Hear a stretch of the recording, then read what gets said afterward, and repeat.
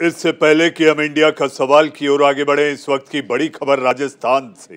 राजस्थान से बड़ी खबर, भिलवाड़ा में सांप्रदायिक तनाव बरकरार युवक की हत्या के विरोध में बाज़ार बंद। भिलवाड़ा में 24 घंटे के लिए बंद किया गया इंटरनेट, चप्पे चप्पे पर तैनात किया गया पुलिस बल। एसपी आदर्श सिद्धू, कलेक्टर आशीष मोदी ने संभाला मोर्चा। आपसी रंजिश के चलते चाकू गोद युवक की की हत्या। एक डिटेन, दो की तलाश में टीम गठित इस वक्त की बड़ी खबर।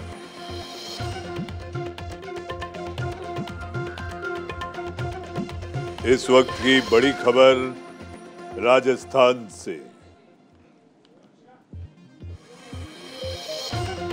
सांप्रदायिक तनाव बरकरार है, कलेक्टर एसपी समेत।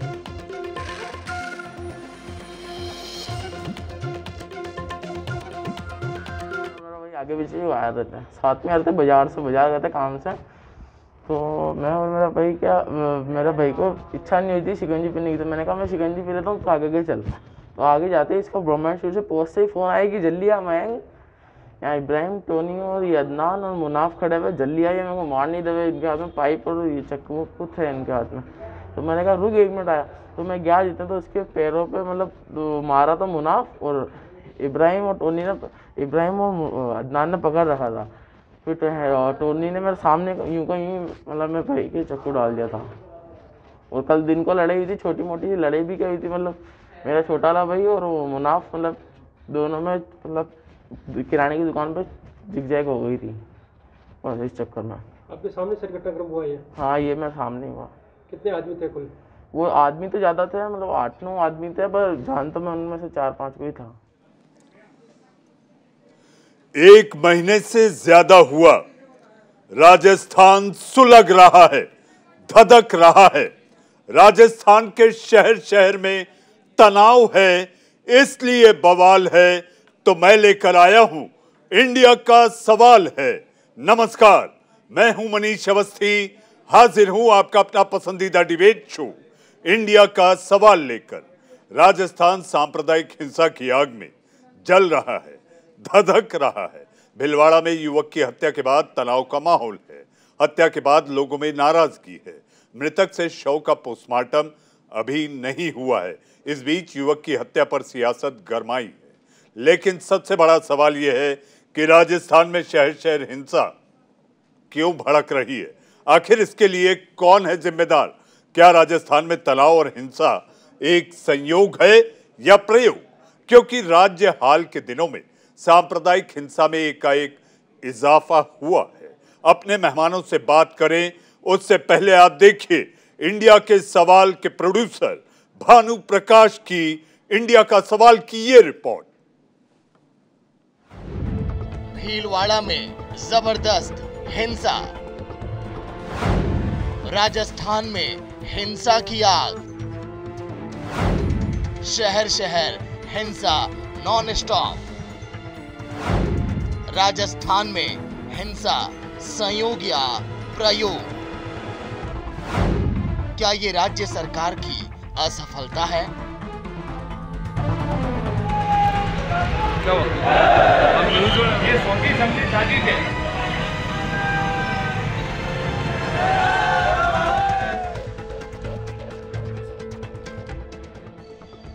राजस्थान के भीलवाड़ा में एक युवक की हत्या से माहौल गर्मा गया। दरअसल, यहाँ पर मंगलवार की रात एक 22 साल के युवक की चाकू मारकर हत्या कर दी गई। आरोप ये है कि कथित तौर पर दूसरे समुदाय के लोगों ने आदर्श तापड़िया की जान ले ली।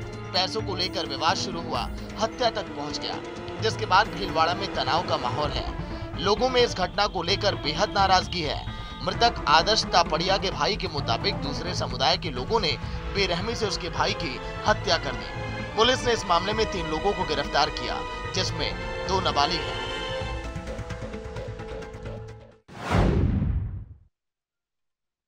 रात को मैं मेरा भाई आगे पीछे आया रहते हैं साथ में रहते बाज़ार से, बाज़ार गए थे काम से। तो मैं और मेरा भाई क्या, मेरे भाई को इच्छा नहीं हुई थी शिकंजी पीने की तो मैंने कहा, मैं शिकंजी पी लेता हूँ तो आगे के चल? तो आगे जाते इसका ब्रह्मांड से पोस्ट से ही फ़ोन आया कि जल्दी आ मयंक यहाँ इब्राहिम टोनी और ये अदनान और मुनाफ खड़े हुए, जल्दी आइए, मेरे को मार नहीं देवे, इनके हाथ में पाइप और ये चक्कू थे इनके हाथ में। तो मैं गया जितना तो उसके पैरों पे मतलब तो मारा तो मुनाफ और इब्राहिम और टोनी ने इब्राहिम और अदनान ने पकड़ रखा था। फिर तो और टोनी ने मेरे सामने यूँ का यूँ मतलब मैं भाई के चक्कू डाल दिया था। आदर्श की हत्या के बाद भिलवाड़ा शहर के पाँचों थाना क्षेत्रों में एसटीएफ और आरएससी के जवान तैनात कर दिए गए। इस बीच विश्व हिंदू परिषद बीजेपी और हिंदू जन जागरण मंच ने भीलवाड़ा बंद का ऐलान किया। वहीं प्रशासन ने माहौल को देखते हुए इंटरनेट की सेवाओं को 24 घंटों के लिए बंद कर दिया।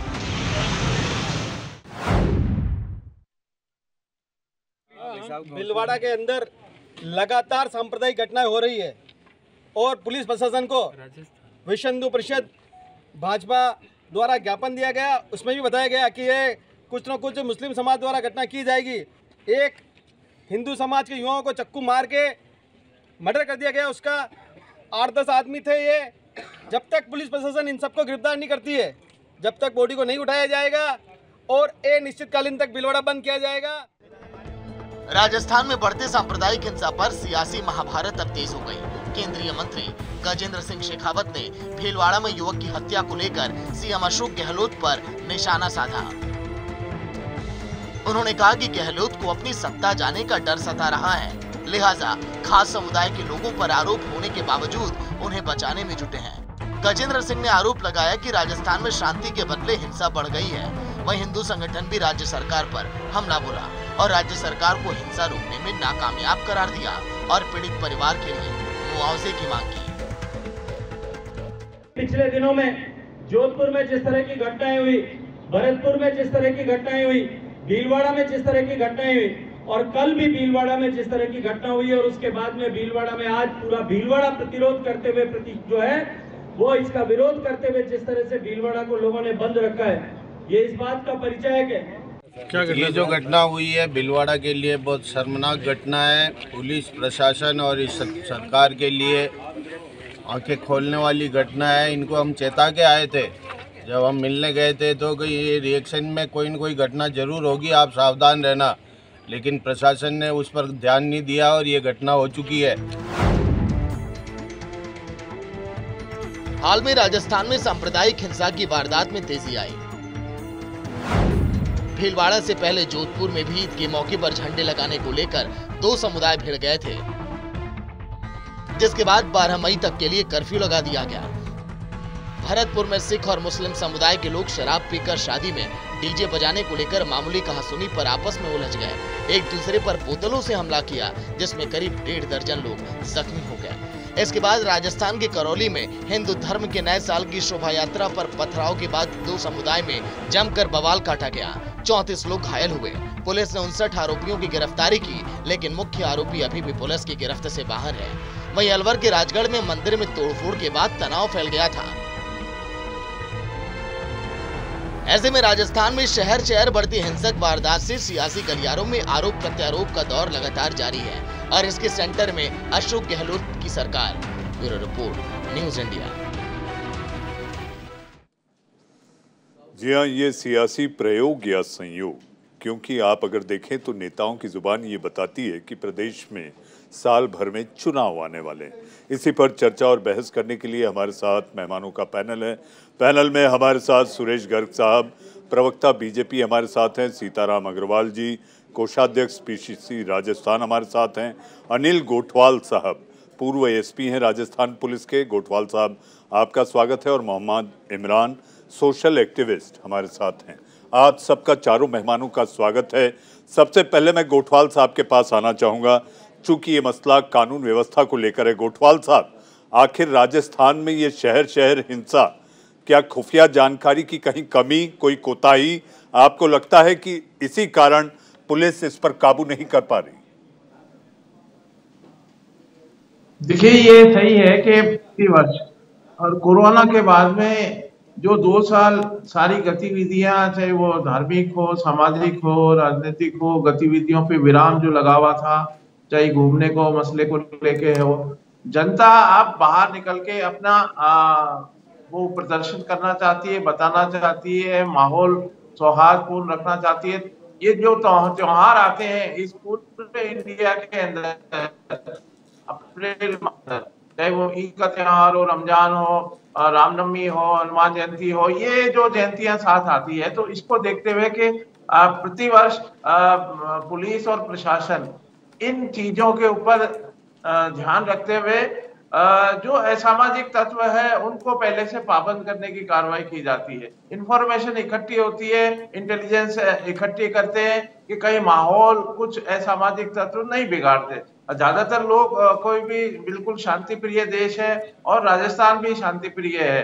मेरा ये करना है कि कहीं ना कहीं कम्युनिकेशन गैप है प्रशासन के अंदर और इंटेलिजेंस में। जो इंटेलिजेंस इनपुट हमें मिल रहा है, वो एग्जीक्यूट हो रहा है या नहीं हो रहा है, जो एग्जीक्यूशन के ऊपर कमियाँ हैं या क्या है तो ये कहीं ना कहीं एक एक एक के बाद एक जो ये देखने को आ रही है चीज़ें, उसमें हम एग्जीक्यूट करने में, हम जो धरातल के ऊपर स्थिति को कंट्रोल करने में लाइन ऑर्डर को कंट्रोल करने में कहीं त्रुटि या चूक हो रही है।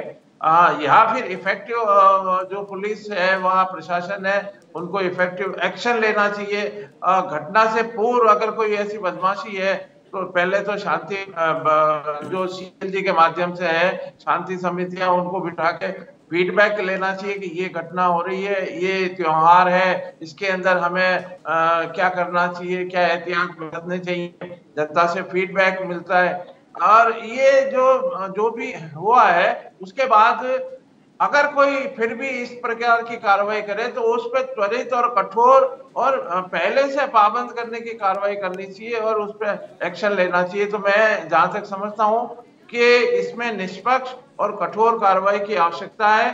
कोई भी जाति, कोई भी समाज, कोई भी धर्म किसी भी है, उसको शांति बनाए रखने के लिए प्रशासन को थोड़ा सा कठोर होना पड़ेगा और एक्शन लेना पड़ेगा। जी एक्शन लेना पड़ेगा। गोठवाल साहब कुछ और सवालों के साथ आपके पास आऊँगा। गोठवाल साहब हमारे साथ सरकार का पक्ष रखने के लिए सीताराम अग्रवाल साहब हैं।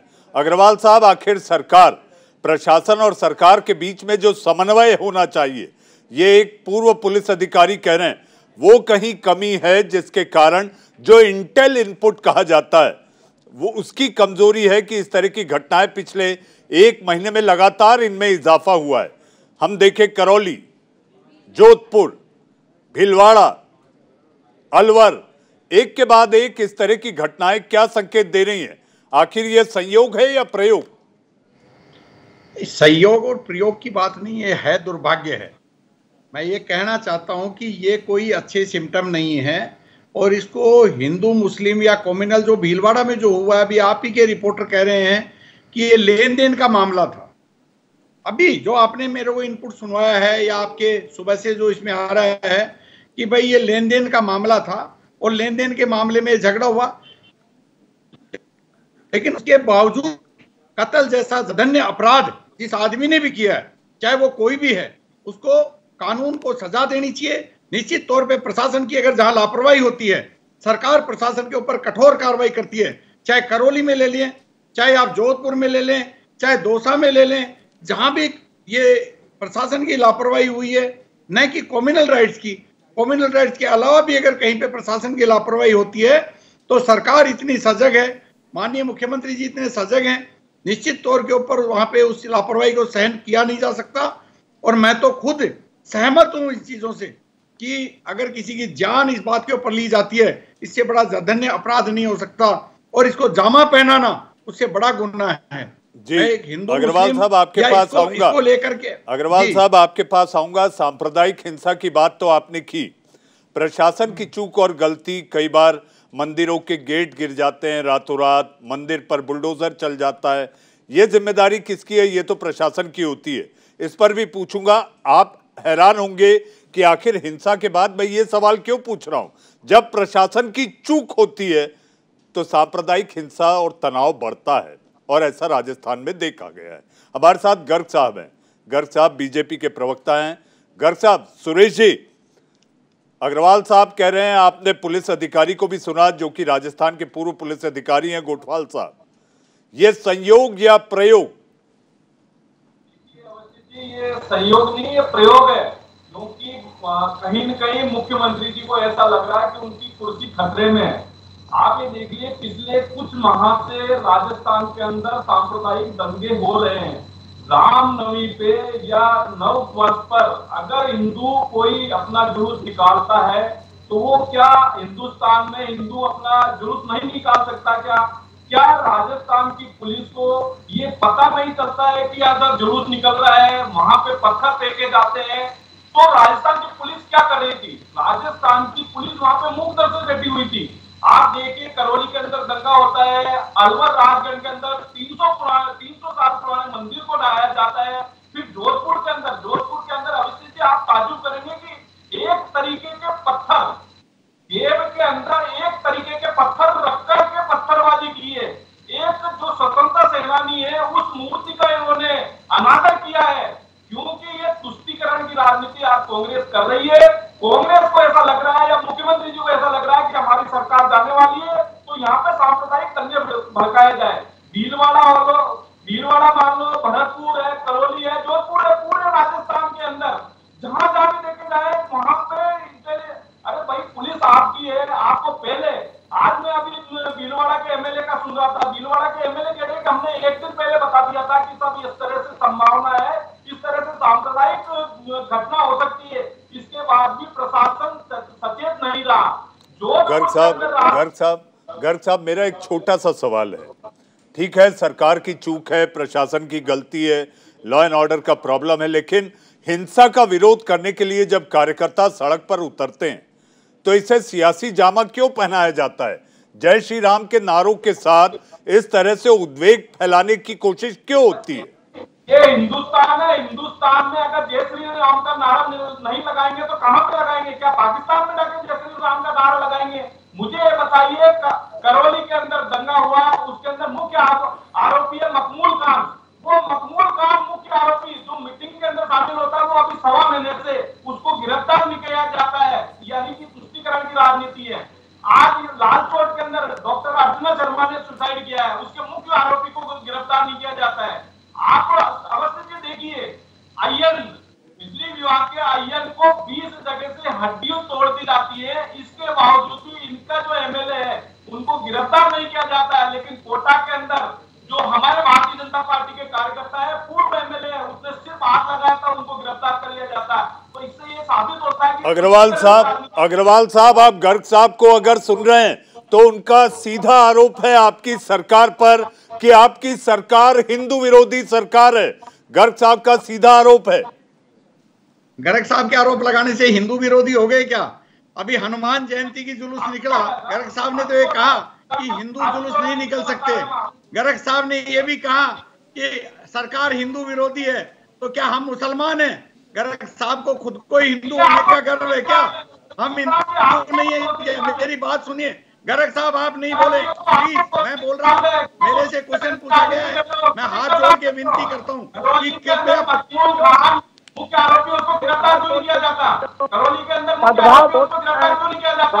हम लोगों ने मनाई हनुमान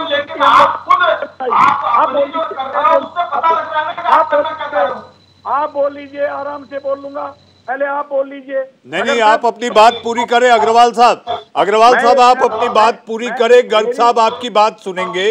अग्रवाल साहब आप अपनी बात पूरी करें। मेरी एक आग्रह है कि हमारे यहाँ पे हिंदू त्योहार भी आते हैं और दूसरे धर्म के त्योहार भी आते हैं। और हमारे यहाँ पे अभी हनुमान जयंती आई तो किसने रोका जुलूस निकालने से?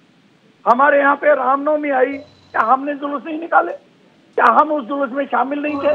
क्या हमने उसमें आगे होके भाग नहीं लिया? क्या हमारे यहाँ पे मनाई नहीं की? ऐसा नहीं है। और क्या जय श्री राम हम नहीं बोलते? क्या जय श्री राम के नाम से सांप्रदायिक फैलाना ही एक मतलब राजनीति है? या वही एक धर्म है? धर्म उसको कहते हैं कि अगर ऐसे सामाजिक तत्व, चाहे वो हिंदू है या मुसलमान है, वो कोई भी है, वो किसी का नहीं है। और कम से कम वो देश का नहीं है, वो समाज का नहीं है, उसको रोकना चाहिए। और जैसे भी गोठवाल साहब ने कहा, निश्चित तौर के ऊपर अगर प्रशासन की लापरवाही होती है तो प्रशासन को सजा मिलनी चाहिए। मैं ये कहता हूँ कि हम कौन सा सपोर्ट कर रहे हैं? हम तो ये कह रहे हैं, हमारा तो दुर्भाग्य है। लेकिन इसको प्रयोग में नहीं लेना चाहिए, इसको उकसाने की राजनीति नहीं करनी चाहिए। इसको कम से कम अभी जहाँ पे मंदिर तोड़ने की बात कह रहे थे, मंदिर तोड़ने की बात कह रहे थे तो इसकी गहराई में जाइए आप। मंदिर में कौन वहाँ पे किसका बोर्ड था? किसको सजा हुई? किसका क्या पोजीशन थी? किसने मीटिंग ली? वहाँ पे एक्चुअली पैंतीस में चौतीस पार्षद एक पार्टी के होते हैं और वहाँ पे निर्णय लिया जाता है। आप ये सब चीज़ें इसको हिंदू मुस्लिम नहीं करके और बजाय इसको राजनीतिक रंग नहीं दे हमारा हमारा राजस्थान बहुत शांति प्रिय बहुत शांति प्रिय राज्य है। यहाँ पे कभी ऐसा नहीं हुआ। मैं मैं कहना चाहता हूँ, एक बार भैरू सिंह जी भैरू सिंह जी मुख्यमंत्री थे। अनंत चतुर्दशी के ऊपर भी हुआ था। कई बार ऐसी चीज़ें हुई, लेकिन हमारे यहाँ भाईचारे में, जैसे कहा सीएलजी की मीटिंग होनी चाहिए।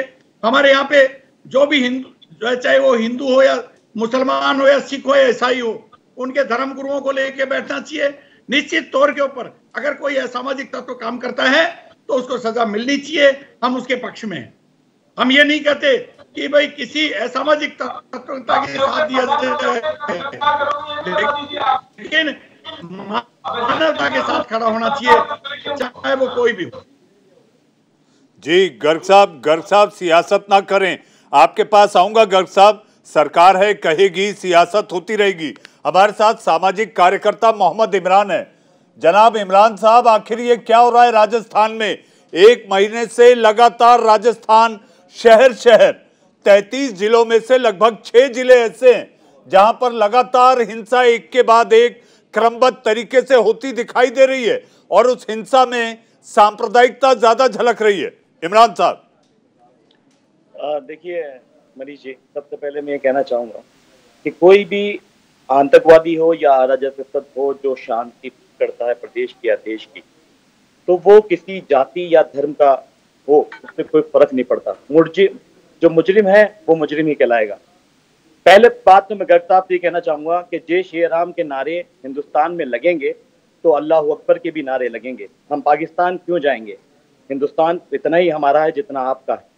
चाहे मुसलमान संगठन हो, चाहे हिंदू संगठन हो, जो भी हो, जो भी गलत चीज़ों के ऊपर काम कर रहे हैं, उनको सजा मिलने चाहिए, क्योंकि ये देश संविधान से चलता है, ना कि लोगों की भावनाओं से। संविधान सर्वप्रिय है, संविधान को माने, कानून अपने हाथ में ना लाए क्योंकि वो किसी भी धर्म का हो, किसी भी जाति विशेष का हो, आप उसे सजा दीजिए, चौराहे पे सजा दीजिए, लेकिन जिसका लाल मरता है, जिसका बच्चा मरता है, उसके घर से जाके पूछिए कि उसके दिल में दर्द क्या है। आज चाहे मकबूल खां मरे या आ, आ, मैं सॉरी कहूँगा कि चाहे वो अनिल जी हो चाहे कोई भी किसी भी नाम से जाना जाए। लेकिन अगर ये कहा जाए कि साहब हम हिंदू संगठन सिर्फ़ मुसलमानों के अलग और हिंदू संगठन वालों का साथ देंगे तो ये गलत है। आप आज़ादी की बात करें मौलाना अबुल कलाम आज़ाद या जेब के देश के जितने भी वीर जवान लाल बहादुर शास्त्री महात्मा गांधी इन सब के भी धर्म और जाति अलग अलग थे लेकिन ये लोग इकट्ठा होकर एक साथ लड़े हैं और इन्होंने दिलाई है अगर ऐसे लोग जो माहौल बिगाड़ेंगे हिंदुस्तान का तो जंगे नहीं है, हिंदुस्तान उनको सजा देगा। और ये दिन दूर नहीं कि लोग बातें सौहार्द की तो करते नहीं है, ये बातें करते हैं तो तोड़ की और जोड़ की बात नहीं करते। ये देश इनसे सवाल पूछेगा एक दिन कि हम कहाँ जा रहे हैं? हमारे, क्यों हम बात नहीं करते कि हम आगे जाएँ? हम हमारे युवाओं को, इनको पता है, इसकी नॉलेज में है कि हिंदुस्तान के अंदर जो युवा हैं, इस वक्त सबसे ज़्यादा हैं क्या ये उनका यूटिलाइज नहीं कर सकते? नेगेटिव नेगेटिव चीज़ को हटा के पॉजिटिव के लिए क्या हम आगे नहीं बढ़ सकते? बातें करते हैं ये सिर्फ़ जोड़ तोड़ की। पहलू खां का जो कांड हुआ था राजस्थान के अंदर क्या उनको भी मुसलमानों ने मारा था? लेकिन ये बात करना गलत है मुसलमान और हिंदू जो भी गलत लोग हैं जो भी गलत लोग चाहे वो हिंदू हो चाहे मुसलमान हो उन्हें सजा मिलना चाहिए। आप जैसे सामाजिक कार्यकर्ता जनाब इमरान साहब आप जैसे सामाजिक कार्यकर्ता ज़रूरी है कि युवाओं के बीच जाकर इस तरह की सोच को संचारित करें, जो आप इस मंच पर बैठकर कह रहे हैं। मुझे ऐसा लगता है सामाजिक ताने बाने को अगर एक बहुत बेहतर तरीके से गंगा जमनी तहजीब को इज़्ज़त देनी है तो आप जैसे सामाजिक कार्यकर्ताओं को भीड़ में जाकर उपद्रवी तत्वों को ये सिखाना होगा, बताना होगा, और आपकी ये जो तकरीर है इमरान साहब, ये उनके बीच अगर आप करेंगे तो मुझे ऐसा लगता है कि शायद समाज का फ़ायदा ज़रूर होगा। अनिल जी आखिर बात की जाए, पुलिस पर ठीकरा फूटता है। पुलिस पर ही ठीकरा फूटता है कि ये जो पुलिस है, ये निकम्मी है, काम नहीं कर रही। देखिए, राजस्थान पुलिस में मैंने पूरे उनचालीस वर्ष बिताए हैं। राजस्थान पुलिस ऐसी नहीं है कि जिसके कोई कार्रवाई करने में सक्षम नहीं है। बहुत अच्छी पुलिस है और बड़े बड़े ईमानदार और कर्मठ पुलिस अधिकारी मौजूद हैं। सिर्फ़ इतना सा है कि उसको धरातल के ऊपर एग्जीक्यूट करने वाली बात है। कभी कभी होता क्या है कि प्रशासन उस समय ये देखता है कि फला धर्म का एक कोई आयोजन है, महोत्सव है, पर्व है तो उसको शानदार तरीके से। ये नहीं है कि भाई उस पर्व को निकालने ही नहीं दे। निकालने नहीं देने के लिए तो पुलिस बनी नहीं है। और दोनों में सामंजस्य बिठा के और पर्व को शानदार तरीके से सभी अपनाए, ये प्रशासन का और पुलिस का दायित्व है कि हर हर पर्व को, हर उत्सव को लोग बाग मनाए। इसके लिए हम यहाँ पुलिस के अंदर बैठे हैं। लेकिन होता क्या है कि आइडेंटिफाई नहीं होता है। कभी कभी माहौल ऐसा है, सरकार खुद कहती है कि साहब, ये इसके अंदर कहीं ना कहीं आने वाले इलेक्शन को लेकर तो उसके अंदर आइडेंटिफाई करें। इस प्रकार के अगर इलेक्शन को या और किसी गतिविधि को लेके कोई ज़्यादा एक्टिव हो गए हैं उनका आइडेंटिफिकेशन करके उनको पाबंद कराएँ। मैं ये नहीं कह रहा हूँ कि सभी चीज़ें कोई गिरफ्तारी से उनको सामने लाए समाज के सामने। ये इस तरह की घटना कर रहे थे और इनके सामने ये उनको पाबंद किया जा सकता है कानून के अंदर। जी अनिल तो जी। ये एक कार्रवाई करने की है। विल पावर होनी चाहिए। विल पावर सरकार की कहीं ना कहीं इच्छा शक्ति अगर काम करती है वहाँ जी अनिल जी विल पावर यानी कि इच्छा शक्ति इच्छा शक्ति की आप जो बात कर रहे हैं अनिल जी आपने लगभग चार दशक तक राजस्थान पुलिस की और समाज की राजस्थान के आपके प्रदेश में सेवा की है। जहाँ तक इन दिनों पुलिस का जो नज़ारा देखने मिल रहा है अलग अलग प्रदेशों में ऐसा लगता है कि खादी खाकी पर अपना हुक्म चलाती है। और इसीलिए खाकी उसकी हुक्म की तामील भी करती है। ये ऐसा दिखाई दे रहा है गोठवाल साहब। अलग अलग प्रदेशों में जहाँ जिसकी सरकार है, खाकी भी सलाम इसीलिए ठोकती है क्योंकि अफसरों को अच्छी जगह मनमाफिक पोस्टिंग चाहिए। जी हाँ गोठवाल साहब, आप आए, मेरे लिए वक्त है एक छोटे से ब्रेक का। ब्रेक के उस पार इंडिया का सवाल लगातार जारी है आखिर राजस्थान में। शहर शहर क्यों है तनाव? कहीं मुल्क में चुनाव तो नहीं।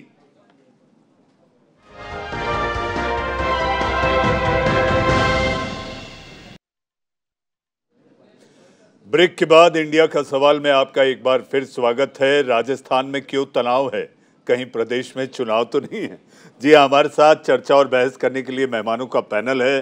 पैनल में हमारे साथ संतोष गर्ग साहब बीजेपी के प्रवक्ता हमारे साथ अग्रवाल साहब सीताराम अग्रवाल जो कि कांग्रेस के पीसीसी के कोषाध्यक्ष हैं और सोशल एक्टिविस्ट जनाब मोहम्मद इमरान साहब हमारे साथ हैं। आप तीनों का ब्रेक के बाद फिर एक बार स्वागत है। जी हाँ गर्ग साहब गर्ग साहब और अग्रवाल साहब, मैं चाहूँगा कि आज इंडिया का सवाल में आप दर्शकों को ये साफ़ करें कि प्रदेश में जो भी चल रहा है, इसके पीछे सियासत नहीं, ये महज एक इत्तफाक है, ये केवल संयोग है। अगर ये बात आप आज दर्शकों को समझा पाए तो मुझे ऐसा लगता है कि सियासतदानों पर दर्शकों का विश्वास पुख्ता हो जाएगा कि ये वाकई हमारे खैरख्वा हैं। आखिर गर्ग साहब जिस तरह से बात एक के बाद एक सामने आ रही है और छह जिलों का उल्लेख मैंने किया, आपने भी इसकी बात कही। आखिर ये सांप्रदायिक तनाव क्यों बढ़ रहा है? क्यों लगातार इसमें इजाफा हो रहा है? क्योंकि प्रदेश में चुनाव आने वाले हैं। निश्चित रूप से कहीं कहीं अशोक गहलोत जी की कमज़ोरी है अशोक गहलोत जी को ऐसा लग रहा है कि मेरी कुर्सी जा रही है। तो वो उस वजह से यहाँ सांप्रदायिकता और तुष्टिकरण की राजनीति कर रहे हैं। आज सीताराम जी बोल रहे कि साहब हम कड़ी से कड़ी सजा देंगे। अरे भाई, तुम कड़ी से कड़ी सजा तो दोगे, लेकिन जो मुख्य मुलजिम है वो क्यों गायब है? उनको गिरफ़्तार क्यों नहीं किया जाता है? आज करौली के अंदर मुख्य आरोपी जो मुस्लिम मखतूम खान है, उसको क्यों नहीं गिरफ़्तार किया जाता? जबकि वो वहाँ की जो मीटिंग होती है पुलिस की मीटिंग होती है उसके अंदर वो उपलब्ध रहता है। आज लाल चौक के अंदर एक डॉक्टर ने आत्महत्या की तो उसका मुख्य आरोपी गिरफ़्तार नहीं होता। लेकिन अगर भारतीय जनता पार्टी का कोई छोटा सा छोटा कार्यकर्ता होगा या से बड़ा अधिकारी है उसको तुरंत गिरफ़्तार कर लिया जाता है मुझे बताइए कि अय्यर के पिताई की एक एमएलए ने, मलिंगा जी ने। क्यों नहीं उसको गिरफ़्तार किया जा रहा था आज दिव्या मलेना जी इनके ऊपर आरोप लगाती है कि साहब ये इनके मंत्री का बेटा है वो रेप के अंदर आरोपित है क्यों नहीं उनको गिरफ़्तार है उसको दिल्ली में जाकर एफ़ आई कराने की क्या ज़रूरत आ गई यानी कि यहाँ पे तुष्टिकरण की राजनीति हो रही है और इनके संरक्षण में आंदोलन यहाँ पे ये दंगे दंगे प्रसाद हो रहे हैं जोधपुर के अंदर इतना बड़ा दंगा हुआ है रात को 11 बजे दंगा हुआ तो क्या पुलिस सोती नहीं थी क्या सुबह ढाई बजे तक इन्होंने दंगे कराते थे इसके बाद में जाके वहाँ पे कर्फ्यू लगाया तो भाई ऐसा क्यों किया इससे ये साबित होता है अब स्थिति की तुष्टिकरण की राजनीति कांग्रेस कर रही है भारतीय जनता पार्टी उस तुष्टिकरण की राजनीति के खिलाफ है जो हर आदमी को हर आदमी का यहाँ पे रहने का सुख चैन का सबका अधिकार है लेकिन यहाँ पे देखिए आप देखिए आए दिन इंटरनेट बंद हो जाता है इनकी क्या इनकी पुलिस इंटेलिजेंस कहा है कि आए दिन इंटरनेट अगर एक के बच्चा एग्ज़ाम भी देने जा रहा है तो, तो भी इंटरनेट बंद कर देते हैं तो इनकी पुलिस की नाकामी है आज पूरा और जो हिंदुस्तान में और कहीं पे तो इंटरनेट बंद नहीं होता राजस्थान में क्यों इंटरनेट बंद हो जाता है आए दिन बिजली बंद हो जाती है आए दिन पानी बंद हो जाता है तो ये इनकी नाकामी है और तुष्टिकरण की राजनीति है उस वजह से ये सब चीज़ें हो रही जी तुष्टिकरण की राजनीति, अग्रवाल साहब, गर्ग साहब का सीधा आरोप है। अगर इस तरह से तुष्टिकरण चलेगा तो इस तरह का तनाव लगातार बढ़ता रहेगा और एक जगह नहीं, पूरे प्रदेश में ये फैल सकता है। चिंगारी लग चुकी है, आग सुलग रही है, धधक रही है। ऐसे में अग्रवाल साहब, अगर पक्षपातपूर्ण कार्रवाई होगी तो ये हिंसा और भड़केगी। देखिए, निश्चित तौर पे जैसे जैसे इलेक्शन नज़दीक आते जा रहे हैं जैसे जैसे इन सब चीज़ों का प्रयोग होता जा रहा है। कोई आज पहले बार इस टाइप की घटना नहीं हुई और ओनली राजस्थान एक ऐसा राज्य नहीं है जहाँ पे ऐसी घटना होती है। या सरकार ने उनको सराहनीय कहा हो, या सरकार ने उसके ऊपर कार्रवाई नहीं की हो, या सरकार की ये मंशा हो, ऐसा नहीं है।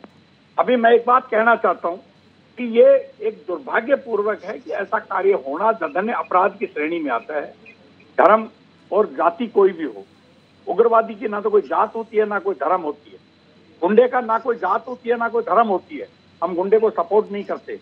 रही सवाल आप, ये मान के चलेगी जो संविधान है, उसके हिसाब से चाहे एमएलए हो, चाहे वो आम आदमी हो, चाहे कार्यकर्ता हो, चाहे कोई भी हो, निश्चित तौर पे उसको सजा मिलनी चाहिए, वो सजा मिल रही है।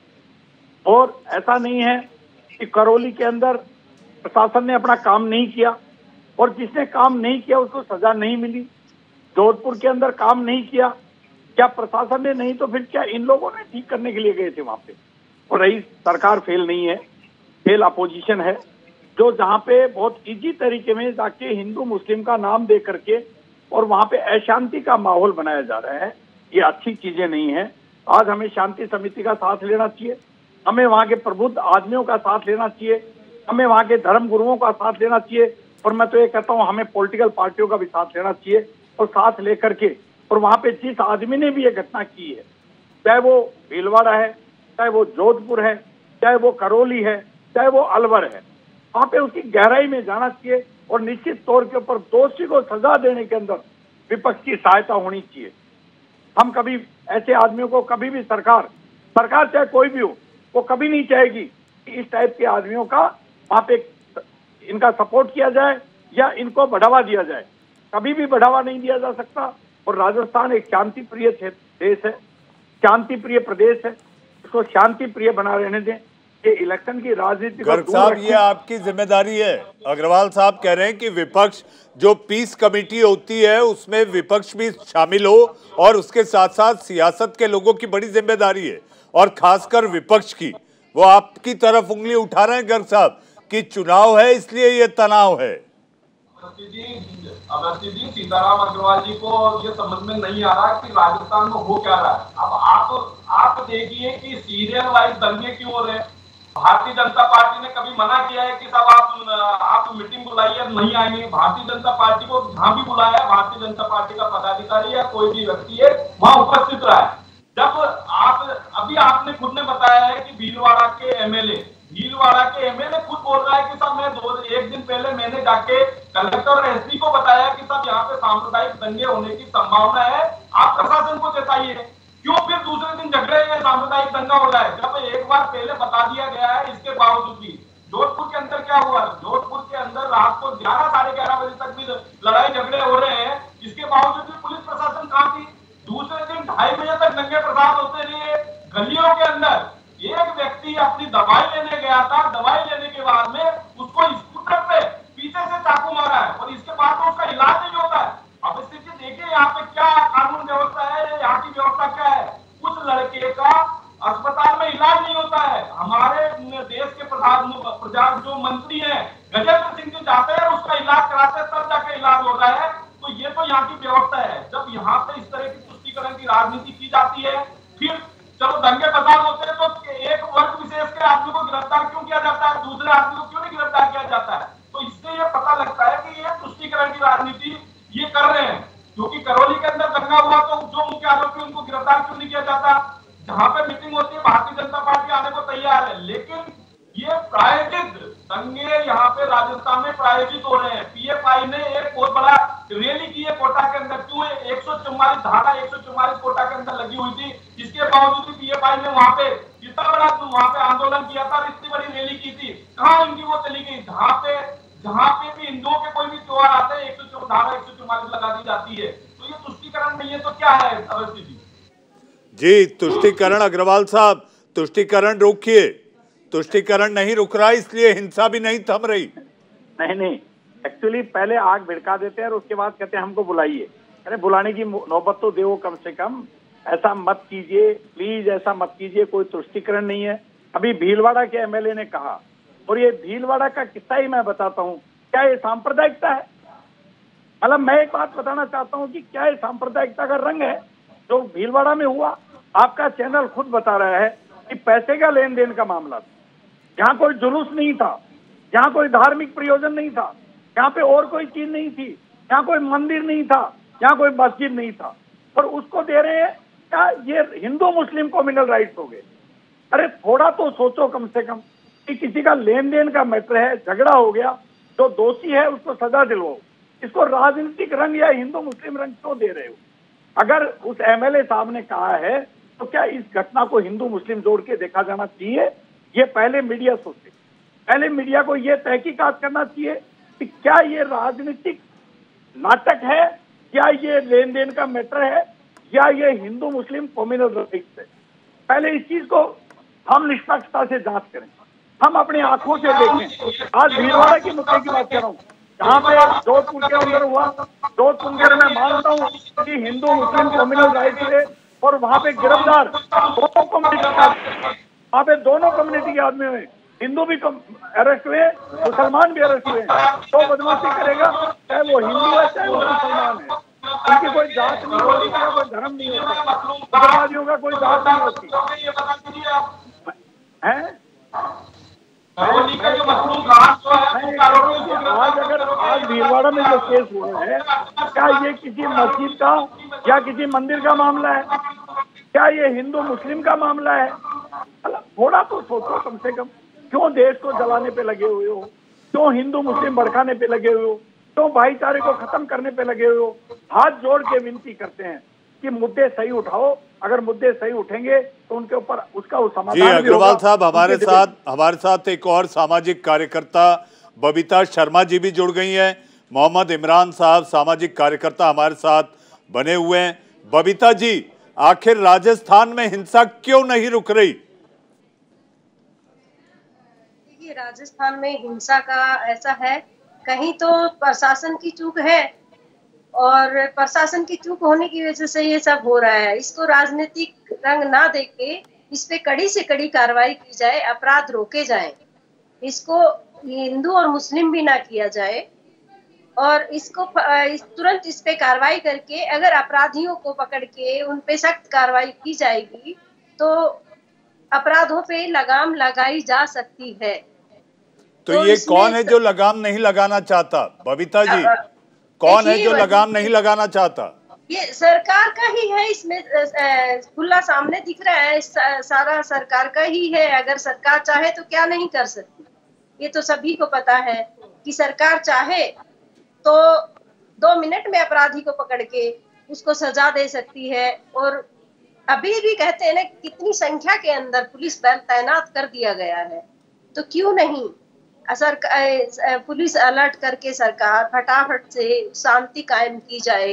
हिंदू, मुस्लिम करके इतना रंग भड़काया जा रहा है फैलाया जा रहा है कभी को कोई कह रहा है कि यहाँ पे ये राजनीति हो रही, तुष्टिकरण की राजनीति हो रही, कोई कह रहा है सांप्रदायिक है, कोई राजनीतिक कह रहा है, कोई कांग्रेस, कोई बीजेपी, ऐसा ना करके तुरंत सरकार को इसके ऊपर संज्ञान लेना चाहिए और फटाफट से उसको अपराधियों को पकड़ के और शांति कायम करनी चाहिए उनको सजा देनी चाहिए बबीता जी बबीता जी समाज में शांति के लिए आप जैसे सामाजिक कार्यकर्ताओं की बड़ी भूमिका रहती है।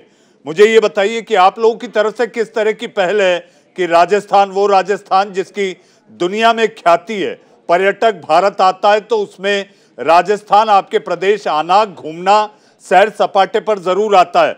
तो ये कैसे सुनिश्चित करेंगे? आप जैसे सामाजिक कार्यकर्ता समाज से जुड़े लोग कि आखिर शांति बनी रहे। मनीष जी देखिए, जयपुर है, वो दूर दूर से लोग देश विदेश से लोग घूमने आते हैं।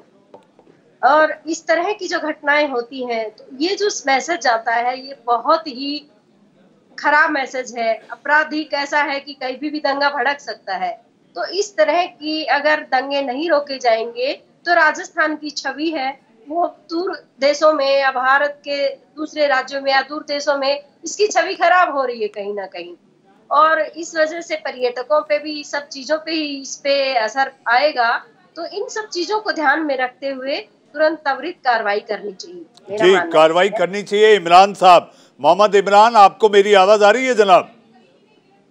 जी हमारे साथ इमरान जी तकनीकी खामी के कारण हमारे साथ नहीं जुड़ पा रहे हैं। हमारे साथ दो मेहमान, सियासी मेहमान, क्योंकि ये बहस ये बहस आखिर राजस्थान में कौन है जो चिंगारी को आग का बड़ा स्वरूप दे रहा है?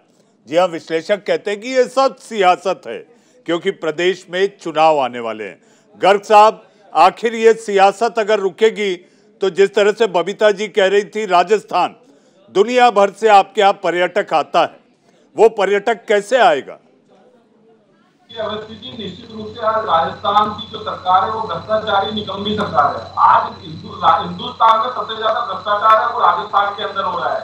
अत्याचार है, वो राजस्थान में नंबर वन है। आज आए दिन आप देखिए, आज बलात्कार के कितने कितने यहाँ पे रोज़ाना बलात्कार हो रहे हैं। और आरोपी पकड़े नहीं जा रहे हर क्षेत्र के अंदर, कभी भरतपुर के अंदर है, कभी अलवर के अंदर है, कभी कहाँ है, पूरे राजस्थान के अंदर बलात्कार की घटनाएँ हो रही है। लेकिन वो आरोपी पकड़ने नहीं आते हैं या दूर भाग चले जाते हैं। तो ये राजस्थान सरकार की नाकामी है। अगर नाकामी है तो उसमें भारतीय जनता पार्टी का कोई दोष नहीं है, ये तो इनकी कमज़ोरी है। अब मुझे ये समझ में नहीं आता कि गहलोत साहब इतने सक्षम मुख्यमंत्री होने के बावजूद भी अगर राजस्थान को कंट्रोल नहीं कर पा रहे तो ये कहीं कहीं इनको ऐसा लग रहा है कि उनकी कुर्सी खतरे में है।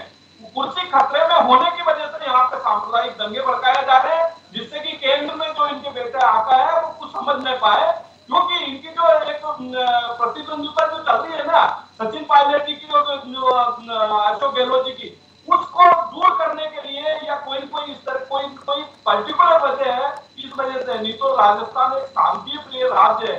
कभी झगड़े नहीं हुए साहब लेकिन आप देखिए लाइन से घटनाएँ होती जा रही है। तो ये कहीं ना कहीं एक सोचने का विषय है कि राजस्थान में हो सोचने सोचने का विषय गर्ग साहब। अग्रवाल साहब तेरह तारीख को आपकी पार्टी के आला नेता आला नेता आपके प्रदेश पहुँच रहे चिंतन शिविर होगा। चिंतन शिविर के पहले राज्य की ऐसी स्थिति कि राज्य के अलग अलग ज़िले, लगभग पाँच से छह जिलों में सांप्रदायिक हिंसा और तनाव है। चिंतन का विषय है। अग्रवाल साहब। साहब को तो सिवाय सरकार के अलावा कुछ दिखता नहीं है। और इनको खुद की तो दिखती नहीं है, इनको ये दिख रही है गहलोत साहब की कुर्सी खतरे में है या फलाना है। आप एक काम करें, हमारी कुर्सी खतरे में है तो आपको फ़ायदा होगा। आपकी सरकार आएगी, अगर हम काम नहीं कर रहे, आप चिंता मत कीजिए, आप हमारी तरफ़ मत देखिए। आप अपने वसुंधरा राजे सिंधिया जी की तरफ़ देखिए, सतीश पूनिया जी की तरफ़ देखिए। आपके यहाँ पे कितने टुकड़े हो रहे हैं वो देखिए। खुद की, खुद के पैरों में यहाँ पे खुद के आग जलती हुई वो नहीं दिख रही, पहाड़ पे आग जगह लगी हुई है, वो दिख रही है। आज आपसे बात हो रही सांप्रदायिक दंगों की। सरकार को निकम्मे बता रहे हो, सरकार की सारी चीज़ें। अरे, भारत के अंदर सिर्फ़ राजस्थान और छत्तीसगढ़ में दो में ही तो कांग्रेस की सरकार है बाकी आप क्या मूंगली फोड़ रहे हो? आज ये हालत करती पूरे देश को पूरे देश की तो हालत कर दी मुस्लिम करके, आज देश को कटोरा के अंदर महँगाई की हालत कर आज क्या नींबू कर दिया? एक दफ़ा था कल हम में चली आज आपको दिखता। आपको जब भी कुछ दिखता है आपको ये कॉम्युनल राइट आप गरीब जनता की भी सोचो आप बच्चे पर की सोचो महँगाई की भी सोचो आज रुपया इतना चला गया। आज रुपया इतना नीचे चला गया। तो आपको कोई चिंता नहीं है। आपको सिर्फ़ एक चिंता है कि भीलवाड़ा में अगर नहीं भी हुआ तो तो रंग दे दें। ऐसा मत कीजिए। साहब, अच्छे इंसान हो, अच्छी राजनीति कीजिए। और अच्छी राजनीति करना सीखिए। एक चरित्र की राजनीति करना सीखिए। ऐसा मत कीजिए। ज़रूरत नहीं है। पूरे देश की सोचिए, आज एनडीए सरकार है, हम रेस्पेक्ट करते हैं। आज आप रुपया सला कल कोमा में चला गया, उसका तो आपको ध्यान नहीं है, किसी का ध्यान नहीं है। आज महँगाई आसमान में चली गई, गैस सिलेंडर पे कल पचास रुपए बढ़ा दिए, परसों कॉमर्शियल पे एक सौ एक रुपए बढ़ा दिए थे, उसकी कोई चिंता नहीं है। अगर एक भीलवाड़ा में कुछ होता है तो पूरे भारत के अंदर राजस्थान की सरकार बदनाम होती है। बाकी आज गुजरात में क्या हो रहा है, मध्य प्रदेश में क्या हो रहा है आपने कभी सोचा है? आपने कभी सोचा है महँगाई की क्या हालत है? आपने कभी सोचा है रुपया कहाँ चला गया? आपकी करेंसी बांग्लादेश ना मीडिया करना चाहता, ना आप करना चाहते। अस्सी मुद्दों पे आप नहीं चाहते। अस्सी मुद्दों पे आने के लिए, क्योंकि देश की जनता के लिए सोचना पड़ेगा आपको। और देश की जनता के लिए सोचने के लिए आपको गहराई देना पड़ेगा जो मुस्लिम को अपना राइट था ये भावना मत बनाइए देश बहुत थक चुका है इनसे देश बहुत थक चुका है मैं एक बात बता रहा हूँ सरकार निकम्मी है या नहीं निकम्मी है। ये सर्टिफिकेट आपसे लेने की ज़रूरत नहीं है। ये सर्टिफिकेट हमारे हाईकमान वो अपने आप देगा। और निश्चित तौर पे आप अपनी पार्टी को भी देखिए। आपकी पार्टी में क्या हो रहा है उसको तो नहीं देख रहे और दूसरे की तरफ़ देख रहे हैं। अग्रवाल साहब अग्रवाल साहब बीजेपी के राष्ट्रीय अध्यक्ष जेपी नड्डा ने कहा है। उनका कहना है कि जब रोम जल रहा था नीरव बंसी बजा रहा था गहलोत साहब पर निशाना है। कोई बंसी नहीं बजा रहे थे, ना तो बंसी बजाने का शौक है, ना बंसी बजाना आता है गहलोत साहब को। गहलोत साहब जितने जितने जितने जितने संवेदनशील मुख्यमंत्री आज भारत के अंदर, जो बजट गहलोत साहब ने दिया है, जो बजट गहलोत साहब ने दिया है, हर आदमी ने उस बजट को सराहा है। गहलोत साहब जो जितने संवेदनशील मुख्यमंत्री हैं, आज हर आदमी के लिए सोचते हैं, चिरंजीवी योजना भी गहलोत ही लेके आए हैं। आज शहरी रोज़गार गारंटी योजना भी गहलोत साहब ही लेके आए हैं। आज 2000 महात्मा गांधी स्कूल गरीब के बच्चे इंग्लिश मीडियम पढ़े। ये कौन लेके आए? ये भी गहलोत साहब ही लेके आए। फ्री मेडिसिन कौन लेके आया? गहलोत साहब लेके आए। आज दस लाख रुपए तक का इलाज कौन लेके आया? ये भी गहलोत साहब लेके आए। और यहाँ तक आदमियों की नहीं, पशुओं की भी फ्री ट्रीटमेंट दिया है तो सिर्फ़ और सिर्फ़ अशोक गहलोत ने। और ये गो भक्त होने का दावा करते हैं, कल नौ महीने का अनुदान किसने दिया है? वो भी गहलोत साहब ने दिया है। वो कभी नहीं सोचते। गहलोत साहब, काम कर रहे हैं, वो तो नहीं देख रहे। और वो भीलवाड़ा में एक आदमी हो गया गहलोत साहब के ऊपर लांछन लग गया। अरे कभी गहलोत साहब के, अभी कभी गहलोत साहब के बजट को भी देखा है, कभी गहलोत साहब के कारों, कामों को भी देखा है। Old pension scheme old pension scheme Gehlot साहब ने जो दिए कभी उसकी भी बात की है। व्यापारियों के लिए, छोटे व्यापारियों के लिए जो क्या किया है, कभी गहलोत साहब ने उसकी आपने चर्चा की है, कभी नहीं कर सकते, क्योंकि आपको तो इससे फुर्सत ही नहीं है देखने की। कभी फुर्सत हो तो सोचो। जब आपके दिमाग में एक चीज़ है कि हमें एक छोटी सी चिंगारी को शोला बनाना है उसका इलाज नहीं है कभी। नहीं नथिंग गर्ग साहब गर्ग साहब आपके पास इलाज या कोई रेमेडी नहीं है इसलिए ये मसला भड़कता जा रहा है। जी मैं कहना चाहता हूँ इन्होंने दो तीन बातें बोली है। एक तो सबसे पहले इन्होंने चिरंजीवी योजना के लिए बोला है। चिरंजीवी योजना साहब, इन्होंने कहा कि साहब, हमने पाँच लाख से दस लाख कर दिए। अवस्थी जी चिरंजीवी योजना के अंदर ये हालात है कि किसी भी हॉस्पिटल के अंदर चले जाइए, चिरंजीवी योजना लागू नहीं है। राजस्थान के टॉप हॉस्पिटल के अंदर मैं अगर इंटरनल हॉस्पिटल में इलाज कराने जाऊँ या फोर्टिस हॉस्पिटल में इलाज कराने जाऊँ या नारायण हृदय में इलाज कराने चाहता हूँ तो वहाँ पे चिरंजीवी योजना लागू नहीं है। वहाँ पे एडमिट होते ही सबसे पहले सर्टिफिकेट लिया जाता है कि चिरंजीवी योजना हो तो हम आपको एडमिट नहीं करेंगे। क्योंकि वहाँ पे योजना लागू नहीं की है तो ये तो इनकी धरातल पे स्थिति है। इन्होंने कर्जा माफ़ करने की बात की थी इनके नेता आए थे कि दस दिन के अंदर कर्जा माफ़ कर देंगे।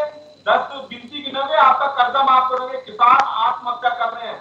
किसानों की ज़मीन में पूर्ति हो रही है लेकिन इन्होंने कर्जा माफ़ नहीं किया किसानों का ये जो बोल रहे हैं ना कि आप नौ महीने का अनुदान दे देंगे। अरे भाई नौ महीने का अनुदान नहीं आप उसको भ्रष्टाचार में खत्म कर दोगे क्योंकि इनके जो राजीव गांधी जी नेता है वो खुद बोल के गए कि साहब एक रुपए में से पिचासी पैसे हम हमारे भ्रष्टाचार में खर्च कर देते हैं तो वही स्थिति रहेगी आप ये देखिए कि जो भी योजनाएँ ला रही है दवाइयों के अंदर ये कह रहे हैं कि साहब हमने दवाइयाँ फ्री कर दी दवाइयों के अंदर अगर स्थिति ये हालत है कि सत्तर परसेंट दवाइयों मार्केट से खरीदनी पड़ती है हॉस्पिटल के अवेलेबल हॉस्पिटल में अवेलेबल नहीं है इन्होंने कहा साहब हमने जांचें फ्री कर दी है आप देखिए पंद्रह पंद्रह दिन बीस बीस दिन की वेटिंग है अस्पताल के अंदर एसएमएस अस्पताल के अंदर जाके देखिए बीस दिन पच्चीस दिन की वेटिंग है वो पच्चीस दिन तक क्या अपना टेस्ट कराने के लिए पच्चीस दिन तक वेट कर वेट करेगा एमआरआई या सीटी स्कैन कराने के लिए क्यों नहीं उसकी व्यवस्था करते हैं आपको घोषणा करने की बजाय धरातल पे अगर योजनाओं को धरातल पे लाओगे तब जाके जनता का राहत देंगे लेकिन ये योजनाएँ केवल घोषणा मात्र है लेकिन धरातल पे नहीं है कोई भी योजना जी गर्ग साहब गर्ग साहब गर्ग साहब, राजस्थान के मुख्यमंत्री एक जादूगर हैं। अबरा का डबरा, जादू की एक भाषा में कहते हैं कि जादू की छड़ी घुमाओ, जिसे अंग्रेज़ी में कहते हैं मैजिक वैंड मैजिक वैंड से काम होता दिखाई नहीं दे रहा। जी हाँ क्योंकि काम धरातल पर, यानी ज़मीन पर करना होगा। बबीता जी, एक छोटा सा सवाल, छोटा जवाब। आप जैसे सामाजिक कार्यकर्ताओं की बड़ी भूमिका आ जाती है जब सियासत इतनी गरमाई हो। देखिए, मनीष जी, एक तरफ़ तो गर्ग साहब बोल रहे हैं, अग्रवाल साहब बोल रहे हैं कि आप वो देखिए जीडीपी गिर रही है, ये गिर रही हो, आप उसकी तरफ़ जा रहे हो आप आप एक घर की तरह होता है, राजनीति एक घर की तरह देखी जाती है, आपका प्रदेश को देखिए आप, महिलाओं, महिलाएँ यहाँ सुरक्षित नहीं है, यहाँ पे आए दिन दंगे भड़क रहे हैं, आप क्या कर क्या रहे हो, जब आप कंट्रोल ही नहीं कर पा रहे हो कुछ भी तो आप कर क्या रहे हो? आपको इसके ऊपर तुरंत संज्ञान जी आप कर क्या रहे हो? बबीता जी मेरे लिए इंडिया का सवाल खत्म करने का वक्त है लेकिन जाते जाते। हमारे साथ गर्ग साहब हमारे साथ सीताराम अग्रवाल साहब बबीता शर्मा जी इंडिया का सवाल कार्यक्रम में आप लोग आए। इमरान साहब आप भी आए लेकिन अब मेरे लिए वक्त इंडिया का सवाल खत्म करने का है। आप सबका बहुत बहुत धन्यवाद। लेकिन जाते जाते जाते जाते मैं इतना कहना चाहूँगा सूरज की तपिश से राजस्थान गरमा रहा है। उम्मीद करते हैं कि सियासत वाले सांप्रदायिक तपिश ना गरमाएँ। इंडिया का सवाल में आज के लिए बस इतना ही। वक्त है एक छोटे से ब्रेक का। ब्रेक के उस पार खबरों के पिटारे को लेकर आ रही हैं मेरी सहयोगी अंशिका पाठक। थोड़े से इंतज़ार के बाद।